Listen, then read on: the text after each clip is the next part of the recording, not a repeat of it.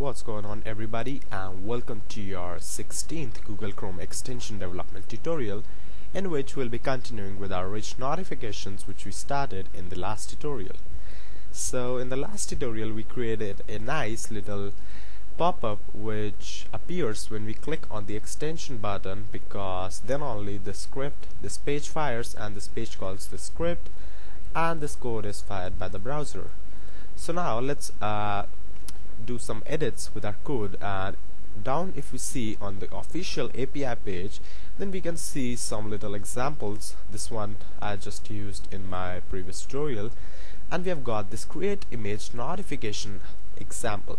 Now image would kinda create your pop-up box and an image under your information. So let's see how this works. So let's say I change the type basic to type image and I put a comma here and I write image URL same as my icon one. So now when I would reload this test extension and would click on this then you see that I get this image right here as below this content which is the default which was the default pop-up in our basic one so if you see right here then then it says that use a 3 to 2 ratio for your image. Otherwise a black border frames the image.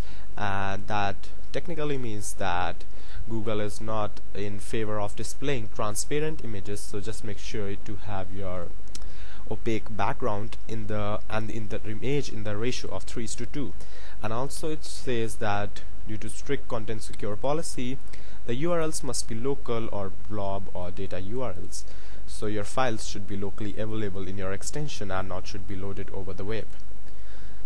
Okay so this was how do we create a image pop-up notification. And let's see about the list one. So with a list is uh, pretty much like same like your content one right here but the difference would be this text would be bolded and I guess uh, some bullets or maybe number ordering would be added to it. And as you can see this items is kind of array which contains its own object with the title message and the message one. So let's just copy this thing.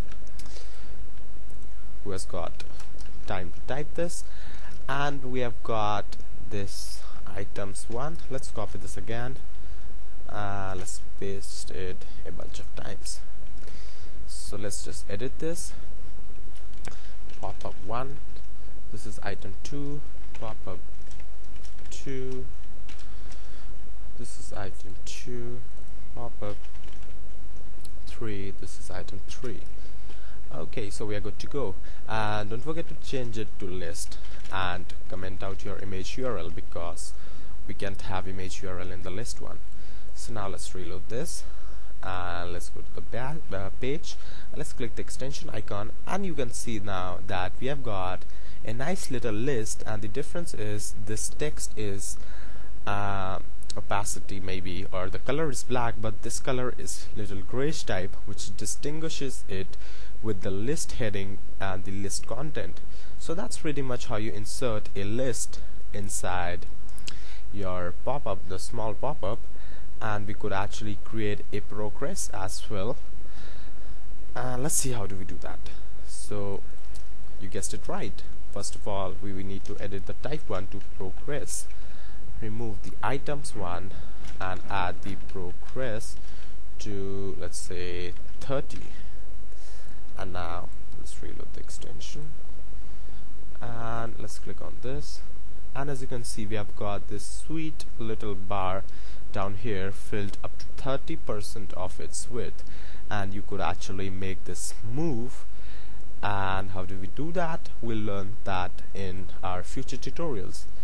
So that's all pretty much for this. And uh, okay so yeah. So one thing we could uh, learn in this tutorial as well is that how do we respond to the user action? Let's say uh, let's say your pop-up is not that kind of informal but it's something like um, let's say Bill Gates uh, just tweeted or just replied to your tweet which is a big achievement but extension doesn't care. And message would be like the tweet which he has uh, sent. So let's say uh, you are doing a very nice job teaching people how to code Chrome extensions. Thank you very much sir. And the icon should be the Twitter one only and actually we don't need any progress for this. And I'll just remove this and I'll just turn this to basic one. And now let's remove the uh, callback as well. We don't need any callback. And now what we want is whenever someone um, clicks on this pop-up right here. Mm, the pop-up down here. Then this uh, should open a new tab and this should create a new tab basically and should redirect the user to the tweet. So how do we do that? We attach a event handler to this thing right here and how do we do that? With this API so this is an event listener which is Chrome notifications on button clicked add listener. And let's just copy this thing. And down here let's paste this. And this is also asynchronous. So let's say I write redirect window as the function. And what would happen is that whenever somebody clicks on this pop-up uh, which will pop up right here this uh, redirect window function would be fired. So let's say I just do alert. Hello world. Just to show you the click event. So let's reload this. Um, click on the icon. We got a pop-up. Let's click on the pop-up.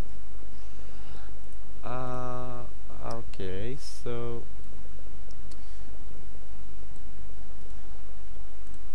let me see.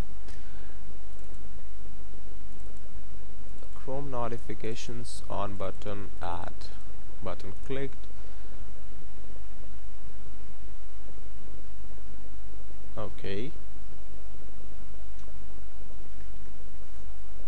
And I guess uh, this is basically for for the event which is fired on when the button is a, a, some sort of button is clicked so this should be instead of on button on clicked. So now let's reload this. Let's click here. And let's click on this. And we got a hello world alert box. So that's how we create and attach a event listener to your Chrome notification pop-up box and uh, show images and lists and progress in the Chrome rich uh, notifications and that's pretty much all about that and I'll see you then in the next tutorial and don't forget to subscribe. Thank you for watching